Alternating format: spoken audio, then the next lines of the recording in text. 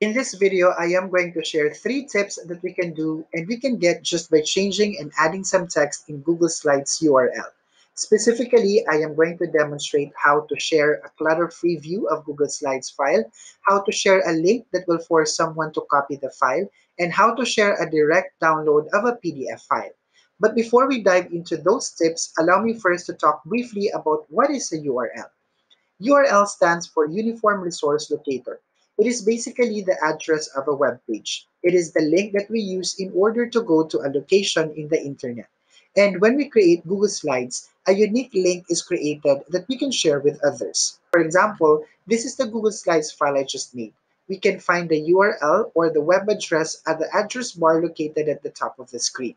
With this link, we can do a number of things. And in this video, I am going to share three tips that involve the uses of this link.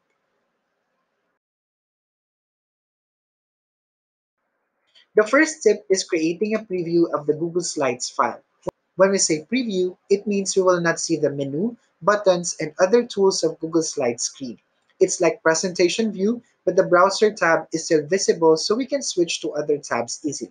To do this, we just simply go to the address bar, then find the part that starts with the word edit.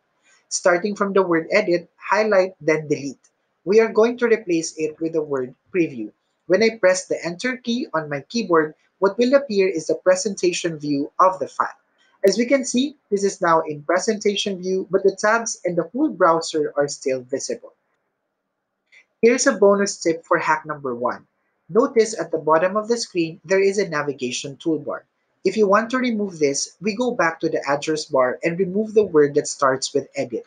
We need to change it with preview question mark rm equals minimal. After that, press the enter key.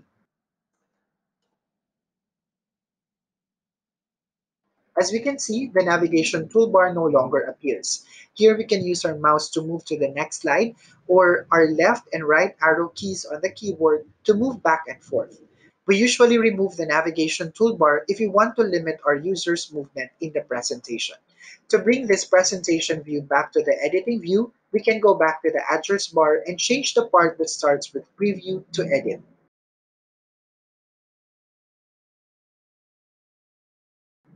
We can also share the preview link to anyone on the internet. To do that, we first go to the share button, then in the get link area, click the change to anyone with the link. Select anyone with the link, then choose viewer permission.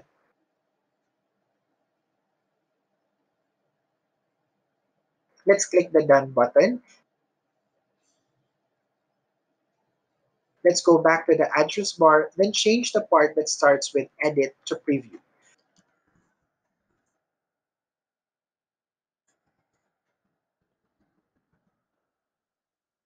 Copy the complete link, then we can send this to anyone we would like to share this with.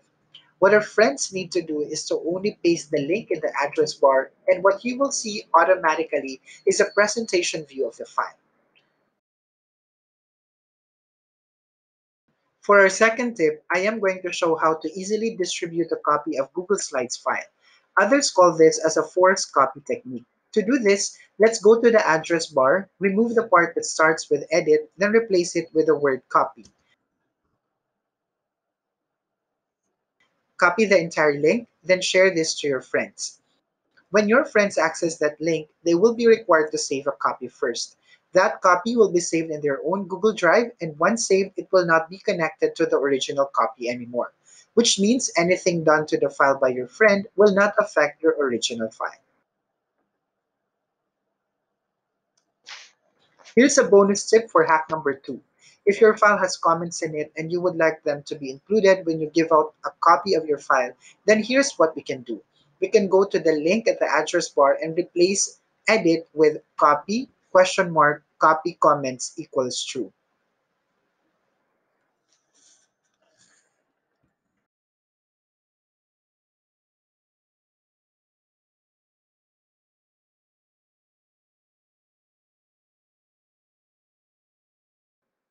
Our third tip is about how to automatically download a PDF of our Google Slides file by using the shareable link.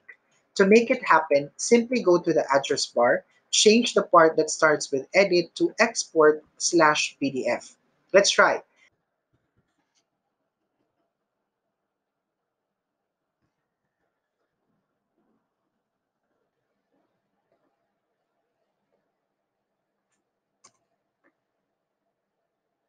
You see, it automatically downloaded a PDF file. As a bonus tip, we can change the PDF with other file types, like PPTX for PowerPoint,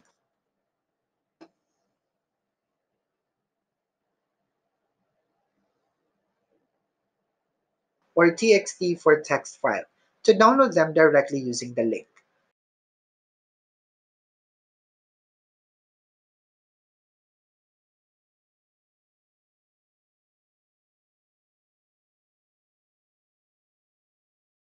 I hope this video gave you an idea on how we can preview, make a copy, and download file using the URL of a Google Slides file.